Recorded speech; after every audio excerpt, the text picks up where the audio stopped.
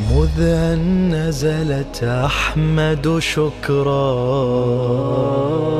صلى ودعا وبها استبشر. قال الله عدوك أبتر. إنا أعطيناك الكوثر. إنا أعطيناك الكوثر. أعوذ بالله من الشيطان الرجيم. بسم الله الرحمن الرحيم. والصلاة والسلام على أشرف الأنبياء والمرسلين سيدنا محمد وآله الطيبين الطاهرين.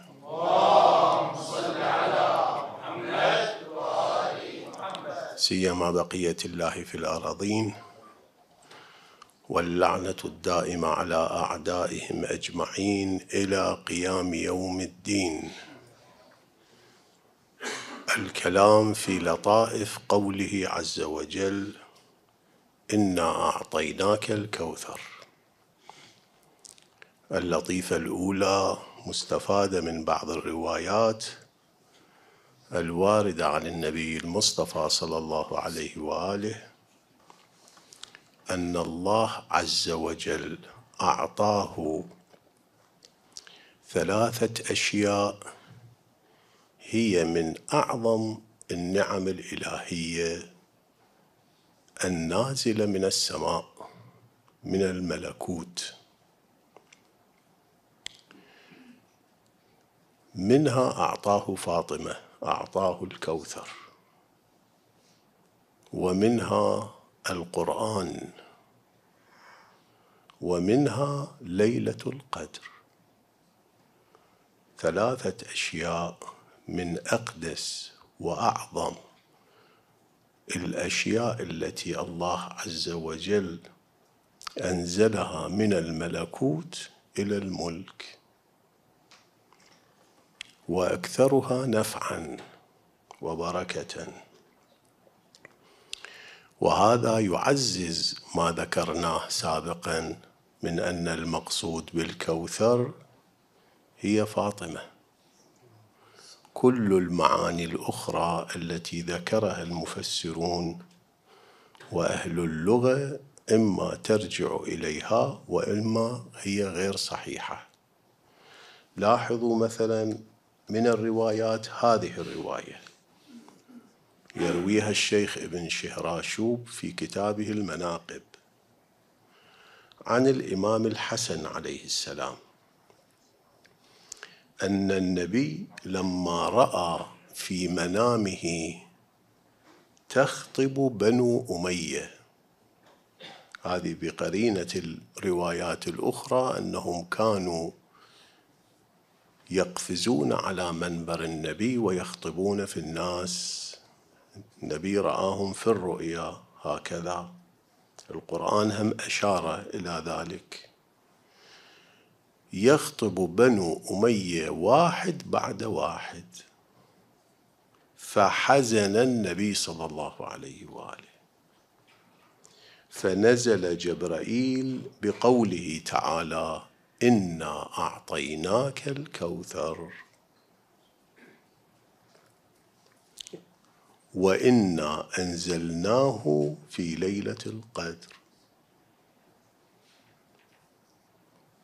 فأعطاه الله عز وجل الكوثر من جهة وأنزل عليه القرآن من هذه الجهة. عندنا هم روايات تقول من عرف فاطمة حق معرفتها فقد أدرك ليلة القدر. أدرك نزول القرآن. القرآن الذي نزل في هذه الليلة من يدرك حق فاطمة يبلغ هذا المقام.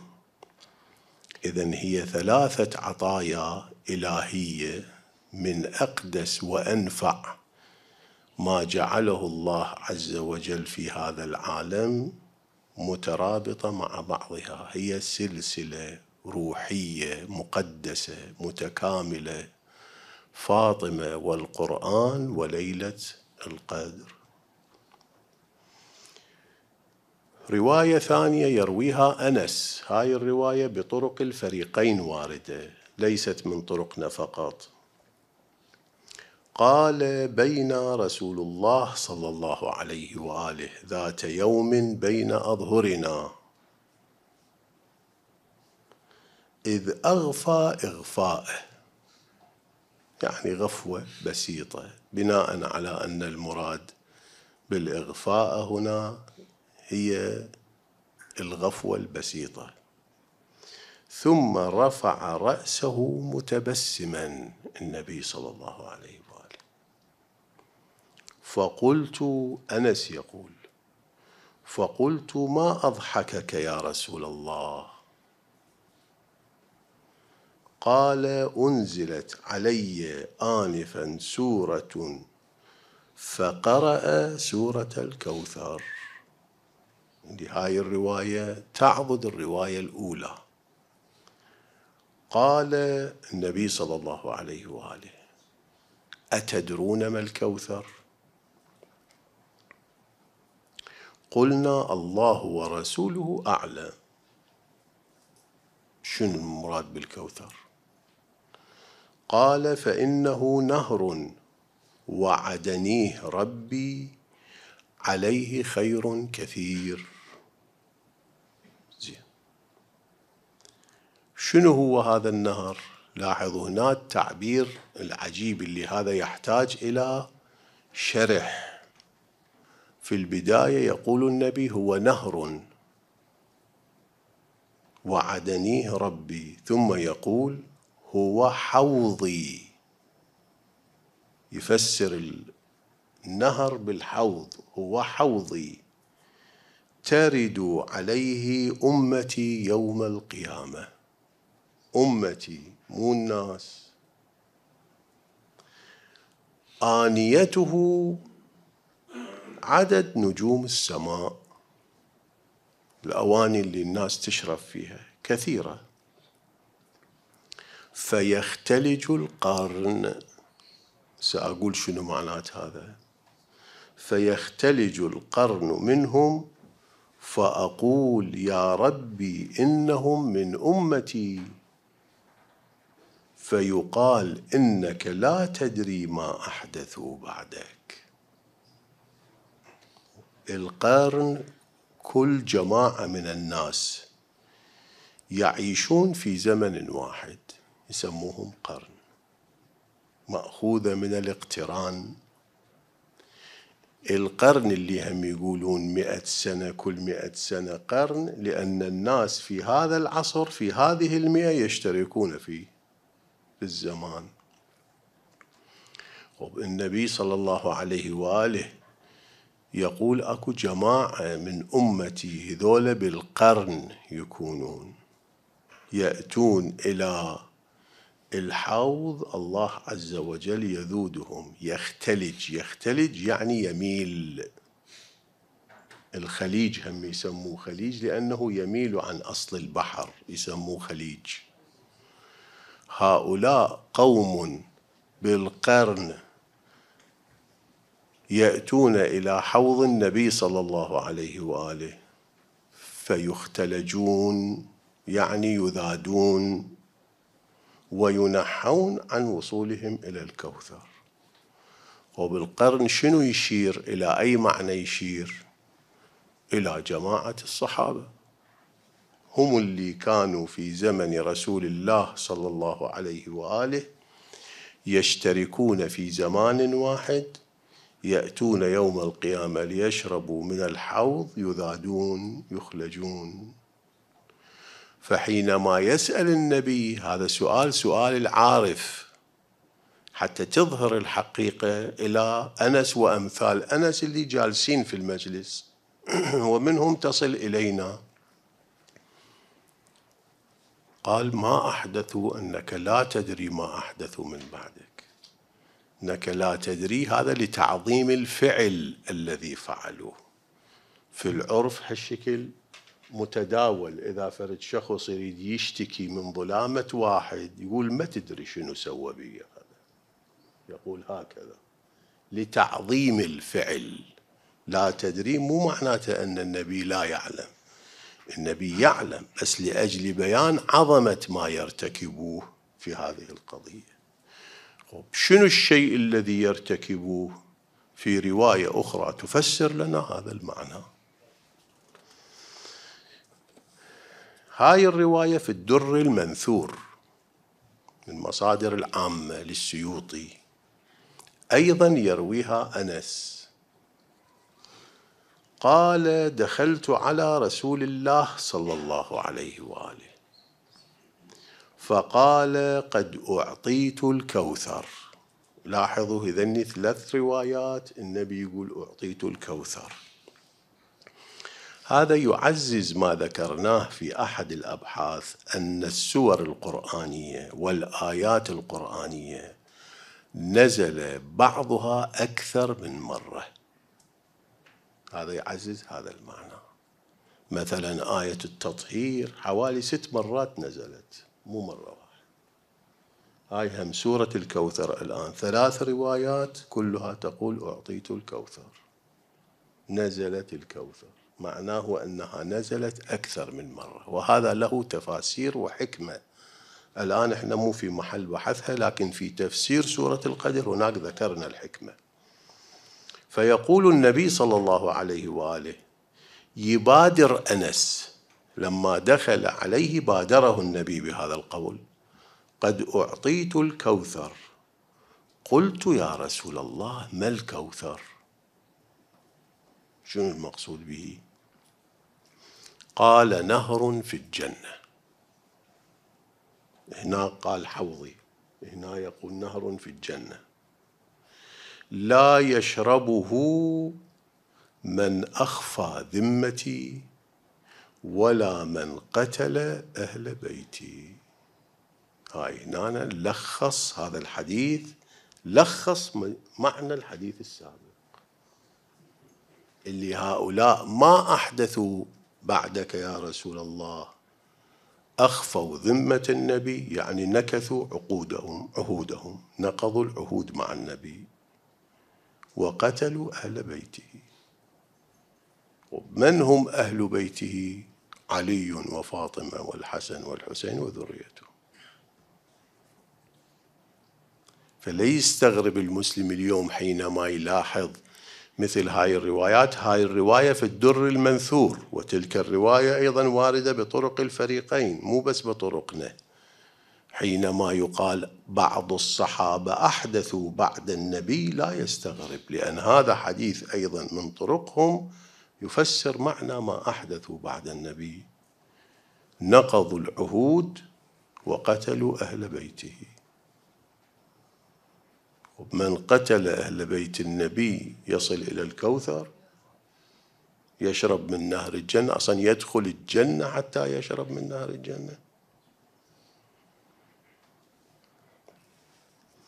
في الخصال مما علمه أمير المؤمنين. هذا الشيخ الصدوق رضوان الله عليه مما علمه أمير المؤمنين لأصحابه. هاي العبارة توحي بأن هذا من المعاني الخاصة اللي الإمام انطاها لأصحابه مو لعموم الناس. قال لهم تنافسوا في لقائنا على الحوض. لاحظوا العبارة هنا. ما يقول اسعوا لبلوغكم إلى الحوض. تنافسوا في لقائنا على الحوض. يعني أصل البلوغ إلى الحوض مضمون لكم. بس أنتم تنافسوا في السرعة وفي المقام. هذا يوحي بهذا المعنى. فإنا نذود عنه أعداءنا ونسقي منه أحباءنا وأولياءنا. لاحظوا هنا نهم العطف هو يقتضي المغايرة. قال أحباء وأولياء الأولياء أصحاب المقامات الأعلى من مجرد المحبين. من شرب منه شربه لم يظمأ بعدها أبدا. وهو الكوثر أمير المؤمنين. هذا المعنى هم يشير إلى ماذا؟ يشير إلى قضية مهمة.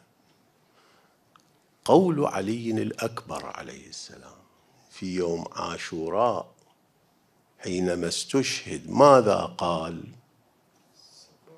سقاني جدي من يده. شربة لا أظمأ بعدها أبدا وهاي الرواية تقول معناه سقاه من الكوثر. من شرب منه شربة لا يظمأ بعدها أبدا. لاحظوا شلون أكو تناغم في النصوص الشرعية. وكلمات المعصومين من أهل البيت تطابق بعضها البعض. ماكو تفاوت بينها ماكو تباين واحد يفسر الآخر. كما أن القرآن يفسر بعضه بعضا كلمات المعصومين يفسر بعضها بعضا. إذا من مجموع هذا يتضح بأن الخصائص الموجودة في الكوثر سواء أخذ بمعنى النهر أو أخذ بمعنى الحوض يتطابق في آثاره وخصائصه مع شخصية فاطمة. سلام الله عليها. فالذي يفسر الكوثر بغير هذا التفسير خالف كل هذه القرائن اللي ذكرناها. ثلاث مباحث محاضرات جاي نتكلم عن القرائن التي تفيد بأن الكوثر هي فاطمة مع أنهم ما قالوا به ولكن ينبغي القول به. إن قال قائل إذا كان هذا لماذا السورة أبهمت معنى الكوثر؟ قالت إنا أعطيناك الكوثر. ما فسرت شنو المقصود بالكوثر؟ إذا بهذا المعنى بهذا الوضوح تقولون إذا لماذا أبهم في السورة الكوثر؟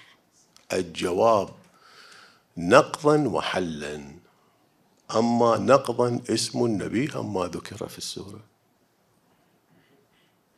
إنا أعطيناك الكوثر. هذا كافي المخاطب علما ما ذكر اسم النبي صلى الله عليه وآله؟ بالضمير. يعرف أنه النبي منين؟ لجلاء المعنى لا يحتاج إلى ذكر. هل في قوله إنا أعطيناك؟ واحد يشك في أن المعطي هو الله عز وجل مع أنه ما قال لفظ الجلالة ولا ذكره بالاسم ذكره بالضمير. وذكر المعطى إليه وهو النبي بالضمير. فما ذكر الكوثر بكل تفصيله وإنما ذكر الصفة لأن العناية هنا للصفة الحكمة هنا للصفة. يريد أن يبين بأن هذا العطاء كثير النفع ينتفع به الأولون والآخرون. لا يبقى أحد في هذا العالم لا تكوينا ولا تشريعا محروم من عطاء هذا الكوثر. حتى الرسالات السماوية السابقة والنبوات السابقة كلها قامت على هذا الكوثر. وفي الآخرة كل الناس حتى من يخلد في الجنة ببركة الكوثر يشرب من الكوثر فيخلد في الجنة. ولا يظمأ بعده أبدا. فهذا أولا جواب نقضي. ثانيا جواب حلي أكو. إذا كان أكو قرينة في داخل السورة تبين المعنى المراد. بعد هذا وجود القرينة هي كالتصريح. شنو هي القرينة؟ إن شانئك هو الأبتر. هذا لا ينسجم لا تنسجم هذه الآية إلا بتفسير الكوثر بفاطمة اللي منها تنشأ ذرية النبي صلى الله عليه وآله. الأمر الثاني حتى يرجع الناس إلى المعصوم. وهذه حكمة كبيرة في القرآن الكريم. أنه لا يصرح بالأشياء دائما بوضوحها. وإنما يذكرها بنحو الإشارة. هم حتى من جهة عقول الناس تشتغل تفكر. مو تتلقى الأمور هكذا تلقيا وإنما تتدبر. لذلك الباري عز وجل قال أفلا يتدبرون؟ حتى الناس تعرف شلون يشغل مخها يشغل عقلها هذه هي فرد حكمة أن الإنسان الله عز وجل وهبه العقل حتى يفكر. حتى يتعقل الأمور. فيؤمن بالأشياء إيمان وعي إيمان معرفة. عند الله عز وجل المؤمن القوي الذي يأخذ إيمانه عن معرفة. خير بكثير من المؤمن الضعيف اللي يأخذ إيمانه فقط عن اتباع من دون وعي. إذا عرضت عليه شبهة ضللته. وإذا انصدم في بعض الوقائع ربما تخلى عن إيمانه. القوة الحقيقية في الإيمان إذا كان الإيمان عن تعقل عن تفكر. ومن جهة ثانية حتى يرسخ مكانة المعصوم في الناس. لذلك الناس يسمعون الكوثر يفتهمون شنو معنات كوثر هو صيغة فوعل يدل على كثرة الخير ولكن شنو المراد به؟ يسألون النبي ما المراد بالكوثر؟ يسألون أمير المؤمنين ما المراد بالكوثر؟ شخصية المعصوم ومكانة المعصوم تترسخ في الناس يصير هو المرجع لعلومهم ولفكرهم. إذا لا يرسخ القرآن هذا المعنى الاجتهادات والظنون الشخصية تخترق المعاني. وتلاحظون أنتم المخالفون شقد عندهم في بيان معاني القرآن من تفاسير بالرأي بالظنون. بخلاف التفاسير المستندة إلى ما ورد عن المعصومين عليهم قضية جوهرية في فهم معاني القرآن. هذا هم جواب هذه الشبهة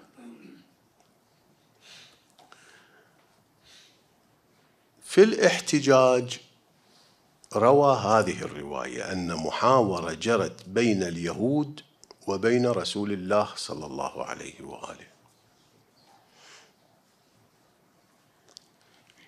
في هذه المحاورة يظهر بأن الكوثر ليست عبارة مختصة بالقرآن الكريم فقط وإنما كانت موجودة عند أهل الديانات.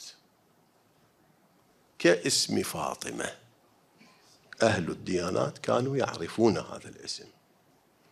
ولذلك بعض العرب كانوا يسمون بناتهم باسم فاطمة تيمنا وتبركا بهذا الاسم لأنهم أخذوه من أهل الديانات السابقة.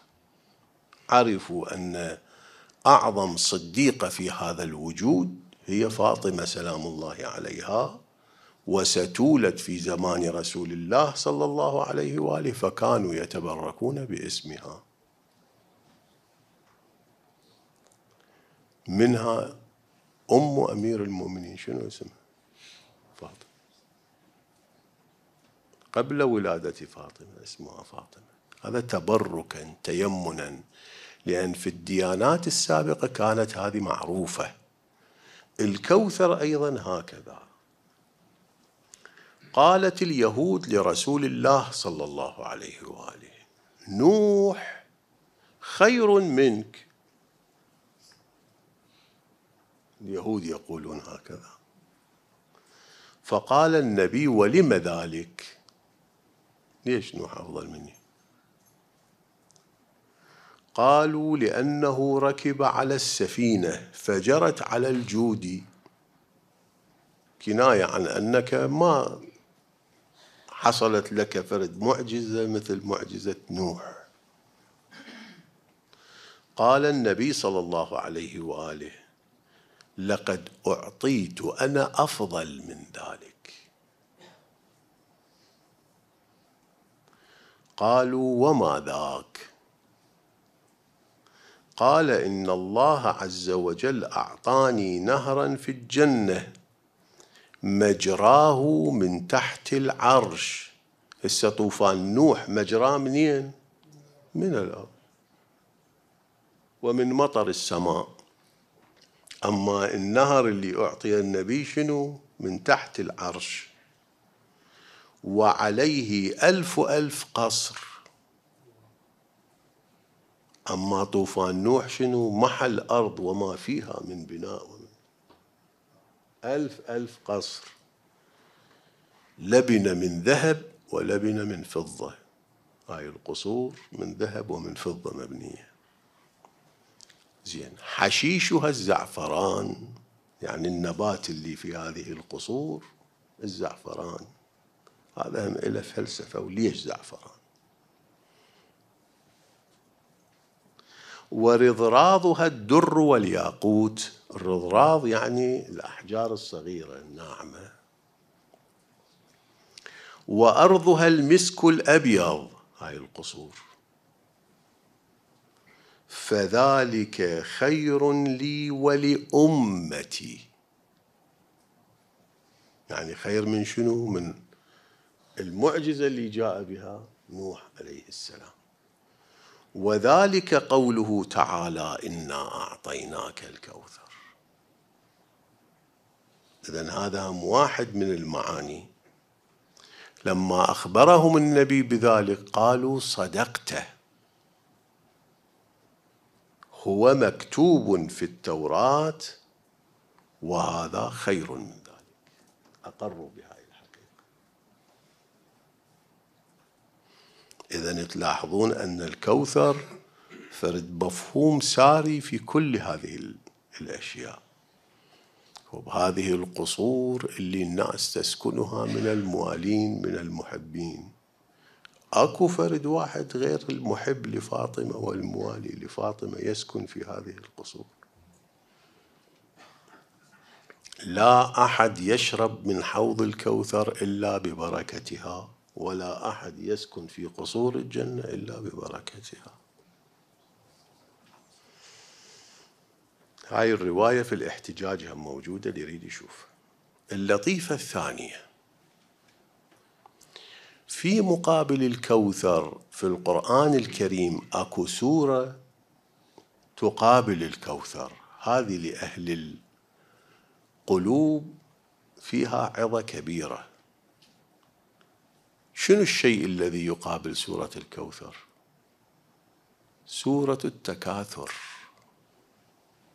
والفرق كبير.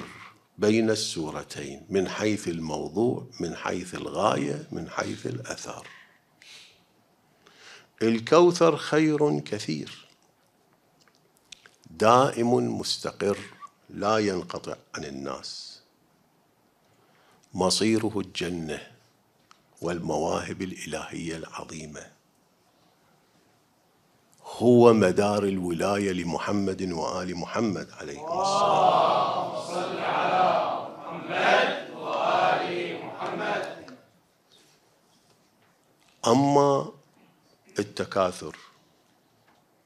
تكاثر في الأموال وفي الأولاد. يرتبط في عالم الدنيا فقط. الله عز وجل يقول إنا أعطيناك الكوثر فصلي لربك وانحر. يرتقي العبد. بمقابل هذا العطاء.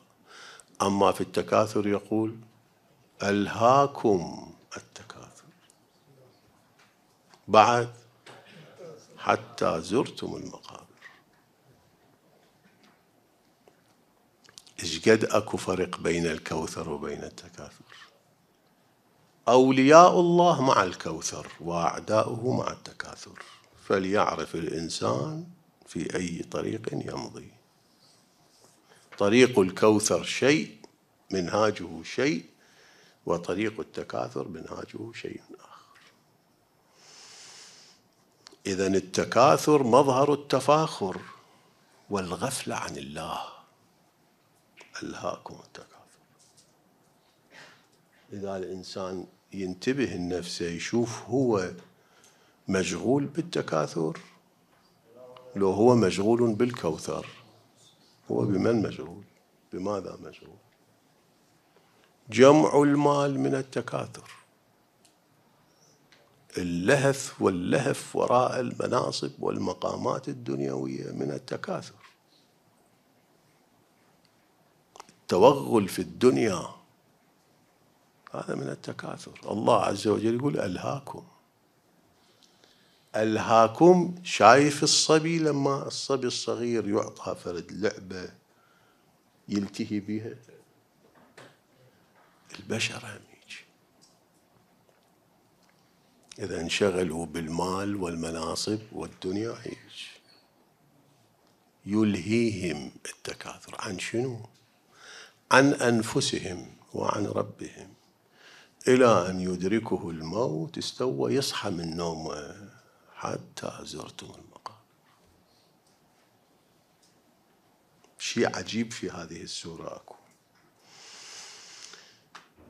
إذا في هذا هم إشارة إلى أهل المعرفة إلى أهل القلوب طلب المعالي والمعارف وسمو المقامات والدرجات بالارتباط بالكوثر.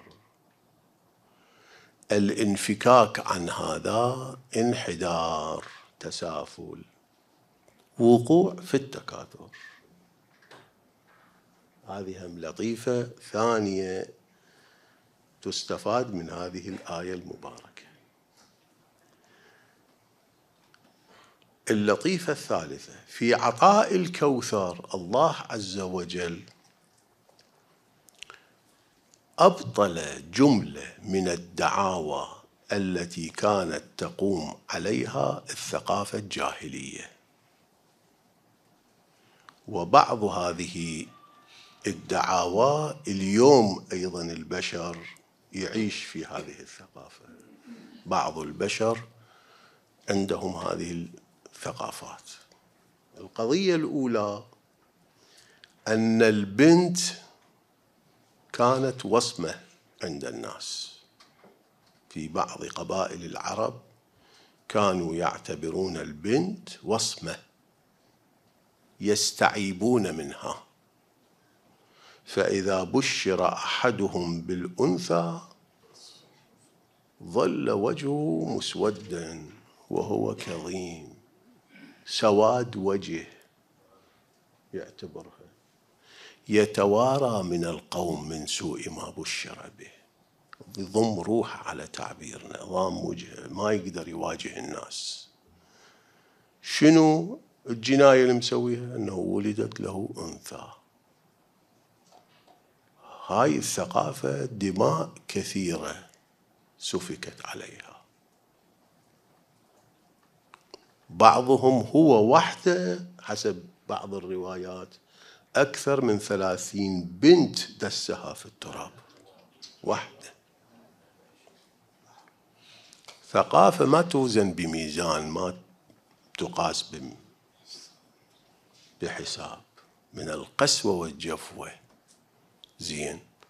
في مقابل هيك مجتمع يعتبر ولادة البنت سواد وجه ويروح يدسها في التراب. الله عز وجل يقول لأعظم خلقه إنا أعطيناك الكوثر. هذه فرد. قضية ما توصف في صدمتها النفسية والفكرية لذاك المجتمع. أعطاه بنتا هي أصل كل هذه الخيرات والبركات. الله عز وجل بهذه السورة أبطل هذه الدعاوى. لاحظوا أنقل لكم بعض الروايات حتى نعرف إيش قد أكو تفاوت بين قيم الدين وقيم غير الدين. حتى في أبسط الأمور حتى بالنسبة إلى البنت إلى المرأة اللي عادة لا تخلو البيوت من بنات. ولكن لاحظوا إيش قد أكو تفاوت بين الثقافة الدينية للتعامل مع البنت وثقافة الجاهلية. أشرف خلق الله بعد رسول الله وأمير المؤمنين الصديقة الكبرى فاطمة. في ثواب الأعمال أن النبي صلى الله عليه وآله لما بشر بفاطمة عليها السلام هسه هؤلاء إذا كان أحدهم يبشر بالأنثى يسود وجهه. رسول الله لما بشر بفاطمة فنظر في وجوه أصحابه. فرأى الكراهة فيهم. جهل. فقال ما لكم؟ ليش أنتم كارهين الموضوع؟ ريحانة أشمها ورزقها على الله.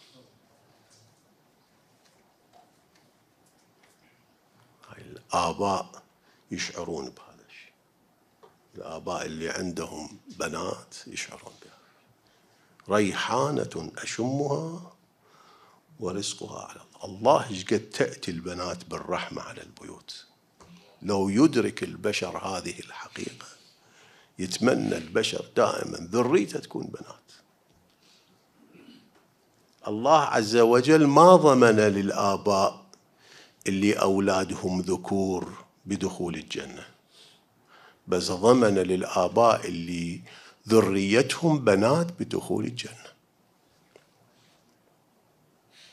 من أعان ابنتين أعال ابنتين دخل الجنة. وفي بعض الروايات أختين أيضا دخل الجنة.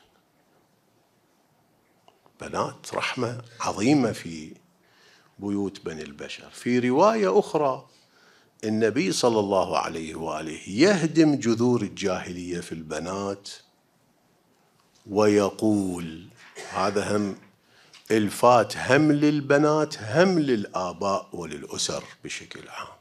للبنات أيضا إلفات. نعم الولد البنات النبي يقول.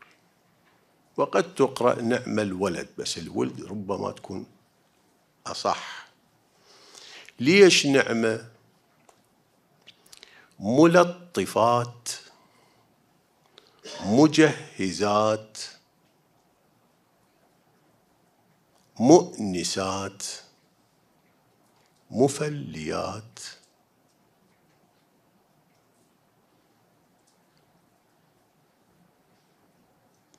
أليس كذلك؟ هسه في مفليات إلى معنيين هذا. فرد معنى من تنظيف الشعر. وجود البنات في البيت واحد من أسباب النظافة. ومن معانيه رقة الشعر. الفل يقال لرقة الشعر. البنات خصوصا الصغيرات شايفيهم شلون؟ يقرون كلمات ويقرون أشعار يلطفون الجو داخل البيت. اللي ما عنده ذرية بنات خل يسأل من الله يعطيه ذرية بنات. واللي عنده بنية خل يعرف قدرها لا يضربها. لا يأذيها لا يظلمها. إذا عنده أخت إذا عنده أم. في حديث آخر من دخل السوق لاحظوا تعاليم الدين إيش قد عظيمة والناس إيش قد بحاجة إلى مثل هذه التعاليم خصوصا في هذه الأيام اللي قساوة القلوب صايرة فالظاهرة في تعامل البشر. من دخل السوق فاشترى تحفة التحفة يعني الشيء اللي له قيمة هسه ربما يكون حلوى ربما يكون فرد قنية معينة. تحفة. فحملها إلى عياله. هاي هم فضل وبركات الآباء في تعاملهم مع عوائلهم كان كحامل الصدقة إلى قوم محاويج. يعني هاي البضاعة اللي الأب يشتريها من السوق ينقلها لأهله بمنزلة الصدقة إلى المحتاجين. وهو الحق هم هكذا لأن عيال الرجل بحاجة إليه. طعامهم ولباسهم وشؤونهم. فالأب لا يستصعب هذا الأمر على عياله لأنه بمنزلة الصدقة. زين. وليبدأ لما يصل الأب إلى البيت وشايل وياه تحفة فليبدأ بالإناث قبل الذكور. ينطي أول للبنات. فإنه من فرح ابنته لاحظوا العجب هنا من فرح ابنته فكأنما أعتق رقبة من ولد إسماعيل. شكد واحد يعتق رقبة من ولد إسماعيل. السهنانة أكو خصوصية لولد إسماعيل. وربما من الخصوصيات أن يكون هذا الولد من أبناء الأنبياء. بهذه العظمة بهذا الثواب يحصل. من فرح ابنته. فويل لمن يحرم ابنته من خيره من عطائه. وويل من يحرم ابنته من ميراثها. لهذه عادة جاهلية في بعض الأسر موجودة للأسف. يحرمون البنت من الميراث بتسويلات من الشيطان. الله عز وجل جعل لها حصة هذا يرفض أن يعطي هذه الحصة.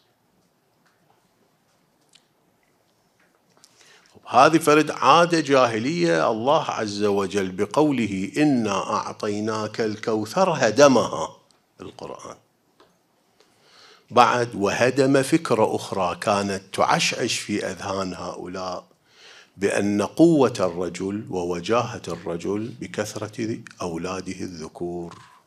الله عز وجل يقول العبرة ليست في كثرة الذكور العبرة في النفع الكثير. وهذه بنت واحدة الله عز وجل جعل خيرها ممتدا إلى عمق الزمان والمكان.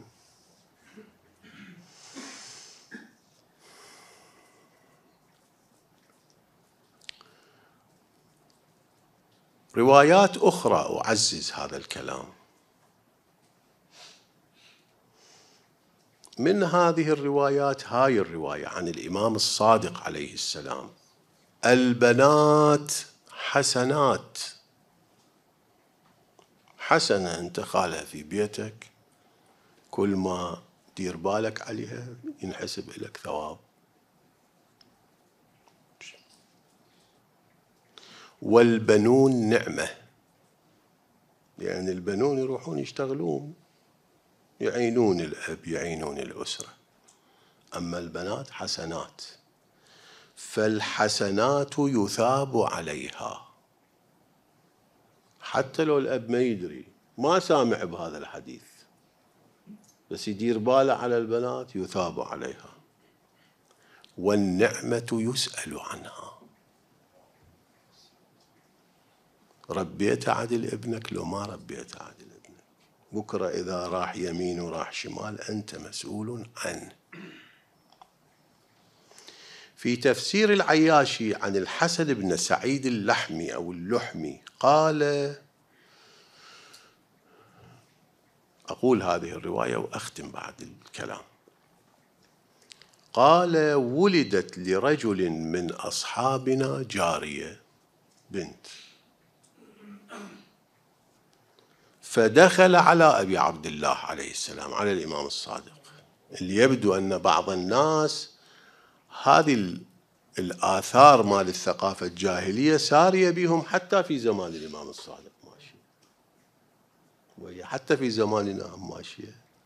بعض الأسر عن جهل وعن ضعف إيمان هم يعتبرون أن البنات فرد منقصة فيها مشاكل اجتماعية كثيرة. فدخل هذا الرجل اللي ولدت له بنت على أبي عبد الله عليه السلام فرآه مسخطا يعني منزعج أو مسخطا هم تقرأ.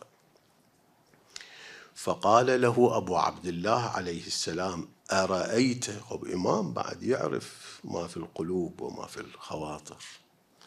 أرأيت لو أن الله أوحى إليك بأني أختار لك أو تختار لنفسك ما كنت تفعل.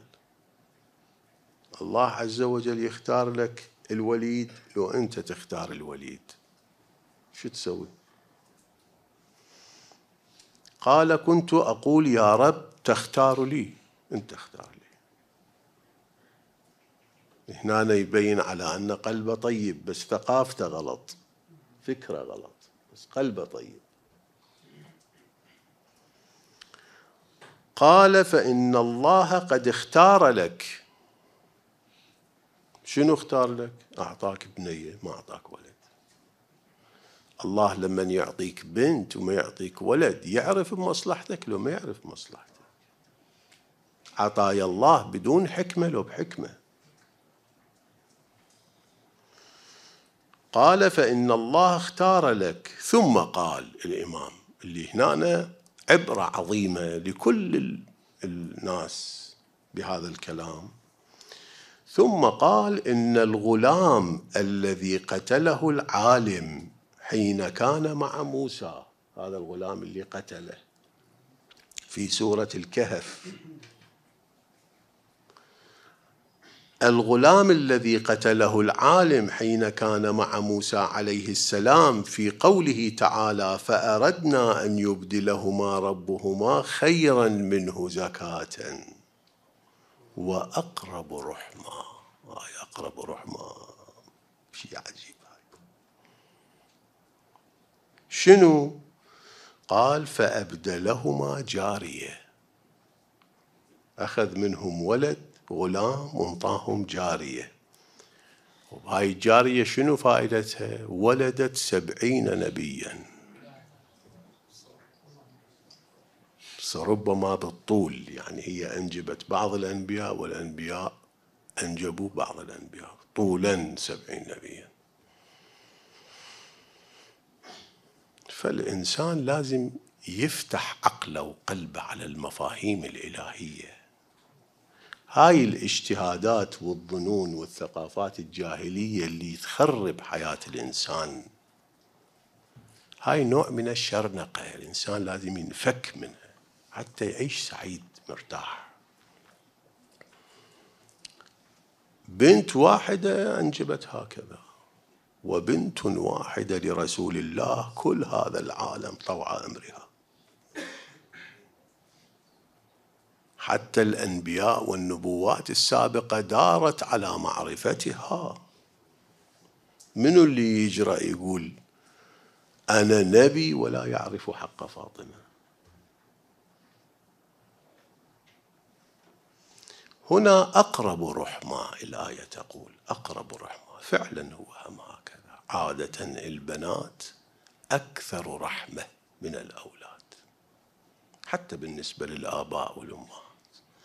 هم هذول الآباء اللي بعضهم يتذمر إذا ولدت له بنت اللي تقف إليه في شدائده بنته. بنات خير عظيم. خصوصا إذا كبروا صاروا كبار والأولاد تزوجوا. وأخذوا نساءهم وأطفالهم وذهبوا إلى حياتهم. اللي يبقى يحن على الأبوين غالبا هكذا ما أقول قاعدة كلية البنات.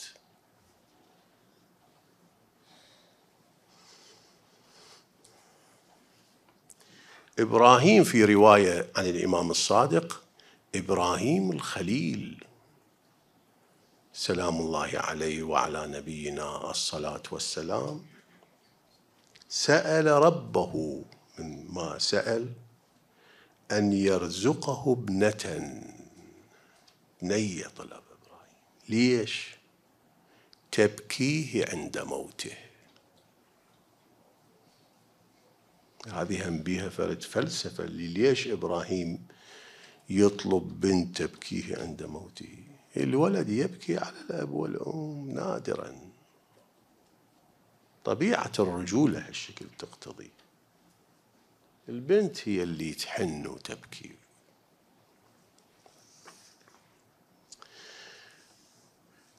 ولذا النبي صلى الله عليه وآله في حديث المعراج أكو حديث هذا العلامة المجلسي في كتاب البحار راوي. مفاد هذا الحديث أن النبي صلى الله عليه وآله رأى النعم والغذاء يهوي إلى الأرض ببركة البنات.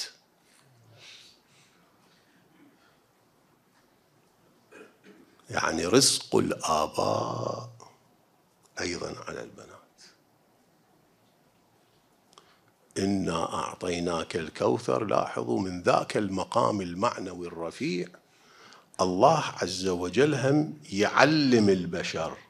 يغير المفاهيم الجاهلية اللي موجودة عندهم. أن البنت البنت فرد هم. الله عز وجل يقول البنت كوثر كثيرة النفع. نسأل الله تبارك وتعالى أن ينور عقولنا وقلوبنا بمعرفته ومعرفة أوليائه. والطاعة لهم والبراء من أعدائهم ببركة الصلاة على محمد وآله الطيبين الطاهرين. مذ أن نزلت أحمد شكرا صلى ودعا وبها استبشر. قال الله عدوك ابتر إنا أعطيناك الكوثر إنا أعطيناك الكوثر.